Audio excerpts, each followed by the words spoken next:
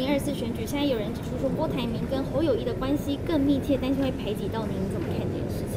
哎呀，我一个就每每天每天不用去讨论这种题目。当然，当然老实讲，我本来跟郭台铭的就没有什么来往了。坦白讲，在二零一九年之前，当然我我倒觉得这样的，当然他他他绝对是跟国民党的关系，一些国民党人一定比我更关比以前的关系更深厚啊。但是这也没有什么的，这个这个参战啊，很多这种事情就是顺其自然就好了。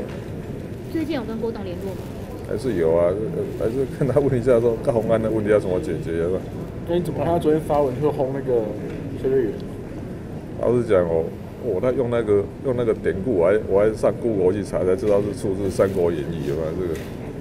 我后来发现后面那个后面骂的更凶的字没有拿出来用，我我我看的真的，我觉得说老郭怎么用这么厉害的字眼呢？但他被说是高端，被薛瑞元说是高端的推销员，你会觉得替他不是啊，BND 的 BND 的 BND 的推销员，这个就是高端的推销员在指责别人是 BND 的推销员。他刚刚说有跟郭董联络讨论高洪安的问题，那后来两个人有什么结论或者是什么方法来解决？呃，讲讲到最后还是加油鼓励居多了。反正当然有些事情我们会还是给洪安帮忙啊，但是我也觉得这样的哦。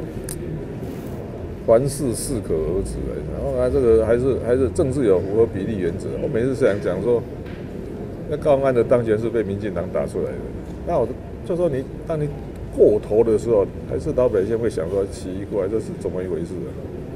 所以我还觉得那个那个这那场选举是这样的，始料未及，然后怎么想到不会想到说新主会是全国选战焦点呢？过去历史上从来没有，我更没有想到。